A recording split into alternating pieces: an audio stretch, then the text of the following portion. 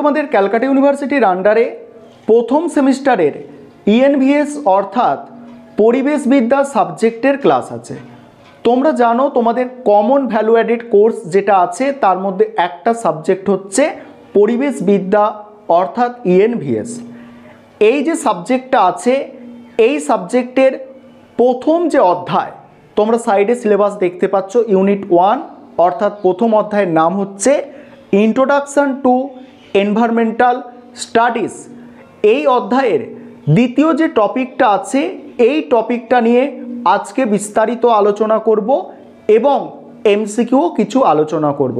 অর্থাৎ অধ্যায়টা প্রথমে আলোচনা করে নেব, তারপরে এমসিকিউ আলোচনা করব।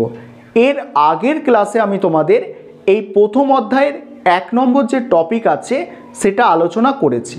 আজকের ক্লাসে দ্বিতীয় যে টপিক, অর্থাৎ স্কোপ অ্যান্ড ইম্পর্টেন্স, অর্থাৎ পরিধি এবং প্রয়োজনীয়তা, এটা নিয়ে আলোচনা করব এবং শেষে এমসিকিউ প্রশ্ন উত্তরও থাকছে। তাহলে তোমরা সম্পূর্ণ ক্লাসটা দেখো এবং আরেকটা বিষয় তোমাদের বলার আছে যে তোমাদের জন্য এই কমন ভ্যালু অ্যাডেড কোর্সের অর্থাৎ কনস্টিটিউশনাল ভ্যালু এবং পরিবেশ বিদ্যা, এই দুটো সাবজেক্টের অনলাইন কোচিং ক্লাস শুরু হয়েছে। তোমরা যারা অ্যাডমিশান নিতে চাইছো বোর্ডে তোমরা যে নম্বরটা দেখতে পাচ্ছ, এই নম্বরটা, এই নম্বরে যোগাযোগ করে অ্যাডমিশান নিতে পারো। তোমাদের একটা সাবজেক্টের জন্য মান্থলি দুশো টাকা করে নেওয়া হয় এবং সপ্তাহে দুদিন করে ক্লাস এবং তোমরা যদি দুটো সাবজেক্ট একসাথে পড়তে চাও, অর্থাৎ পরিবেশবিদ্যা এবং সংবিধানের মূল্য, সেক্ষেত্রে তোমাকে মান্থলি চারশো টাকা পে করতে হবে এবং চার দিন সপ্তাহে ক্লাস পাচ্ছ, দুদিন দুদিন করে। চলো আজকে ক্লাসটা তোমরা বুঝে নাও এবং দেখে নাও এবং যেসব ছাত্রছাত্রীরা অ্যাডমিশান নিতে চাইছো, তোমরা বোর্ডে দেওয়া নম্বরে যোগাযোগ করে অ্যাডমিশান নিতে পারো। এবারে তোমরা আজকের ক্লাসটা ভালো করে বুঝে নাও। আজকের ক্লাসে তোমাদের প্রথম যে ইউনিট ছিল, ইউনিট ওয়ান, অর্থাৎ প্রথম যে অধ্যায় সেখানে দ্বিতীয় টপিকটা ছিল স্কোপ অ্যান্ড ইম্পর্টেন্স, অর্থাৎ পরিধি ও প্রয়োজনীয়তা। এই টপিকটা নিয়ে আজকে আলোচনা করব এবং এই টপিকটা আলোচনা হয়ে গেলে কিছু গুরুত্বপূর্ণ তোমাদের এমসিকিউ আলোচনা করে দেব, যেগুলো পরীক্ষার জন্য খুবই গুরুত্বপূর্ণ। তাহলে আজকের ক্লাসটা খুব ভালো করে বুঝে নাও। এখানে কি বলা হচ্ছে? পয়েন্টটা কি আছে? পরিধি ও প্রয়োজনীয়তা। সেখানে কি বলা হচ্ছে? দেখো পরিবেশবিদ্যার আলোচনার পরিধি বিরাট। পরিবেশবিদ্যা পৃথিবীর প্রাকৃতিক পরিবেশ, জীবজ পরিবেশ, সামাজিক পরিবেশকে বিচার বিশ্লেষণ করে।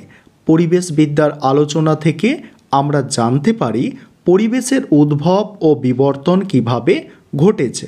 পরিবেশের বর্তমান সমস্যাগুলি কি?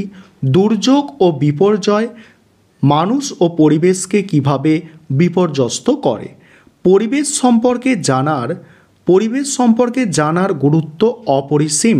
পরিবেশের জ্ঞান মানুষকে তার পারিপার্শ্বিক অবস্থা সম্বন্ধে সঠিক ধারণা দেয়। আমরা যদি পরিবেশ সম্পর্কে জানতে পারি, তাহলে আমাদের পারিপার্শ্বিক অবস্থা সম্পর্কে সঠিক জ্ঞান লাভ করতে পারব। বিজ্ঞানসম্মত ও সামাজিকভাবে মানুষকে সচেতন করে তোলে। বিজ্ঞানসম্মত ও সামাজিকভাবে মানুষকে সচেতন করে তোলে। কে করে তোলে? পরিবেশের আলোচনা। পরিবেশ সম্পর্কে পাঠ নিলে মানুষ জানতে পারে পৃথিবী তার একার নয়। এই পাহাড়, নদী, সাগর, মাটি, অর্থাৎ যা কিছু প্রকৃতির দান, তার সব কিছুই মানুষের যেমন অধিকার, তেমনি মানুষের যেমন অধিকার তেমনই দেখো, তেমনি গাছপালা, পশু পাখির সমান অধিকার। এই ধ্রুব সত্যকে আবার নতুন করে জানার ও উপলব্ধি করার জন্যই পরিবেশের পাঠ একান্ত জরুরি। পরিবেশের পাঠের প্রয়োজনীয়তা হলো, এবারে পয়েন্ট করে আলোচনা করা আছে দেখো পরিবেশ পাঠের প্রয়োজনীয়তাগুলি। এক নম্বর পয়েন্ট, পৃথিবীর পরিবেশ কীভাবে তৈরি হয়েছে, তার উপাদান কি এবং এই উপাদানগুলি কীভাবে বা নিজেদের মধ্যে কাজ করে সেই সম্বন্ধে ধারণা করা যায়। দ্বিতীয় গুরুত্বপূর্ণ পয়েন্ট দেখো, এই পৃথিবীকে এই পৃথিবীকে কেন জীবজগতের একমাত্র বাসভূমি বলা হয় সে ব্যাপারে জানা যায়। তিন নম্বর, পৃথিবীর জন্মলগ্ন থেকে ধীরে ধীরে কীভাবে জীবজগতের উদ্ভব হয়েছে সে ব্যাপারে বিজ্ঞানসম্মত ধারণা তৈরি হয়। চার নম্বর পয়েন্ট পরিবেশ পাঠের মধ্যে দিয়ে বাস্তুতন্ত্র সম্বন্ধে বৈজ্ঞানিক ধারণা জন্মায়। বাস্তুতন্ত্রের মধ্যে পুষ্টির যোগান, শক্তির প্রবাহ। তারপরে দেখো, পুষ্টির যোগান অনুসারে প্রজাতির সংখ্যা সামঞ্জস্যপূর্ণ কিনা তা বুঝতে পারা যায়। পাঁচ নম্বর পয়েন্ট। পাঁচ নম্বর পয়েন্ট কি বলা হচ্ছে? সভ্যতার শুরু থেকে মানুষ কীভাবে পরিবেশের উপাদানগুলিকে কাজে লাগিয়ে নিজের আর্থসামাজিক উন্নতি করেছে সে সম্বন্ধেও অবগত হওয়া যায়। পরের পয়েন্ট সামাজিক পরিবেশের বিভিন্ন উপাদান, যেমন কৃষি, শিল্প, বাণিজ্য, পরিবহন, যোগাযোগ ব্যবস্থা, মানুষের জন্য খাদ্য, পুষ্টি, স্বাস্থ্য, বাসস্থান, সুরক্ষা প্রভৃতির ব্যাপারে জানা যায়। সাত নম্বর পয়েন্ট পরিবেশের সম্বন্ধে পাঠ নিলে পরিবেশের সঙ্গে মানুষের অর্থনৈতিক প্রগতির হার সামঞ্জস্যপূর্ণ কি না সে সম্বন্ধেও ধারণা জন্মায়। ফলে সুস্থায়ী উন্নয়নের সপক্ষে জন জনচেতনার উন্মেষ হয়। তারপরের পয়েন্ট দেখো, আট নম্বর পয়েন্ট প্রাকৃতিক দুর্যোগগুলি কেন সৃষ্টি হয়? তাদের নিয়ন্ত্রণ করার পদ্ধতি কী? এবং প্রাকৃতিক দুর্যোগ মানুষের কত ক্ষতি করে তা বুঝতে পারা যায়। তারপরে ন নম্বর পয়েন্ট মানুষে, মানুষ দূষণের মাধ্যমে পরিবেশের কতটা ক্ষতি করে? তার মাত্রা ও নিয়ন্ত্রণের উপায় জানার জন্য পরিবেশের পরিবেশ বিষয়ে পাঠ নেওয়া দরকার। বিভিন্ন রকম দূষণ, যেমন বায়ু দূষণ, জল দূষণ, শব্দ দূষণ ইত্যাদি দুর্যোগগুলি দুর্যোগকে হ্যাজার্ডস বলা হয়। দুর্যোগগুলি সম্পর্কে পরিবেশবিদ্যা থেকে জানা যায়। তারপরে দেখো, পরিবেশের পরিবেশের রক্ষা করার জন্য এবং যে মানুষ ও সংগঠন পরিবেশের ক্ষতি করে তার অপরাধের জন্য কী শাস্তি দেওয়া যায় সেই আইনগত ব্যবস্থাগুলিও জানার জন্য পরিবেশ আইন সম্পর্কে পাঠ নিতে হয়। পরিবেশ আইন সম্পর্কে পাঠ নিতে হয়। পরিবেশ বিজ্ঞান এই কাজে সাহায্য করে। তারপরে পয়েন্ট জনস্বাস্থ্যের মান কেমন? কোন কোন কারণের জন্য জনস্বাস্থ্যের মান হ্রাস পায় ও জনস্বাস্থ্যের মান উন্নয়ন করার জন্য কি কি বিজ্ঞানসম্মত পন্থা অবলম্বন করা যায়, সেগুলি জানার জন্য পরিবেশ পাঠের প্রয়োজন আছে।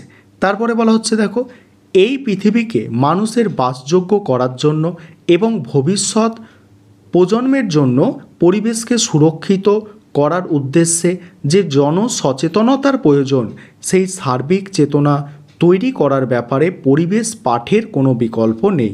এবারে আমরা দেখব কি এমসিকিউ কোয়েশ্চেনগুলো দেখো এমসিকিউগুলো দেখে নাও ইম্পর্টেন্ট যেসব এমসিকিউ আছে।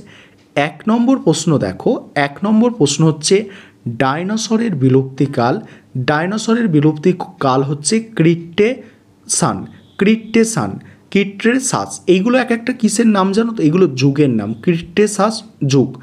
দ্বিতীয় প্রশ্ন, শেষ হিমযুগের নাম কি? শেষ হিমযুগের নাম দেখো প্লাইস্টোসিন যুগ, প্লাইস্টোসিন। তারপরে প্রশ্ন, প্রথম মেরুদণ্ডী জীবের উদ্ভব হয়েছিল অড্ডো অড্রোভিসিয়ান অড্রোভিসিয়ান যুগে। পরের প্রশ্ন পরের প্রশ্ন, আলোকজীবী আলোকজীবী জীবের বিজ্ঞানসম্মত নাম হচ্ছে ফটোট্রস ফটোট্রস। মৃতজীবী জীবের বিজ্ঞানসম্মত নাম হচ্ছে সাপ্রোট্রস। পরের প্রশ্ন, পৃথিবীর পৃথিবীর বয়স পায় কত? পাঁচশো কোটি বছর। আর পৃথিবীর পরিবেশের বয়স কত? চারশো পঞ্চাশ কোটি বছর। পরের প্রশ্ন, উদ্ভিদ পানি ও মানুষের সুস্থ ও স্বাভাবিক বেঁচে থাকার পারিপার্শ্বিক অবস্থাকে কি বলে? পরিবেশ। পরের প্রশ্ন, ডাইনোসরের যুগ বলা হয়। ডাইনোসরের যুগ বলা হয় মেসোজয়িক যুগকে। তারপরের প্রশ্ন দেখো কয়লার উৎপত্তি হয়েছে যে যে উদ্ভিদ থেকে, সেটা হচ্ছে দেখো ক্যালা, ক্যালামাইটিস ক্যালামাইটিস উদ্ভিদ থেকে। এবারে দেখো জীবাশ্ম পাঠের বিজ্ঞানকে কি বলা হয়? জীবাশ্ম পাঠের বিজ্ঞানকে বলা হয় দেখো ডিওনো, ডিওনোটলজি ডিওনো, ডিওনোটলজি বলা হয়। স্পেলিংগুলো খুব ভালো করে তোমরা দেখবে।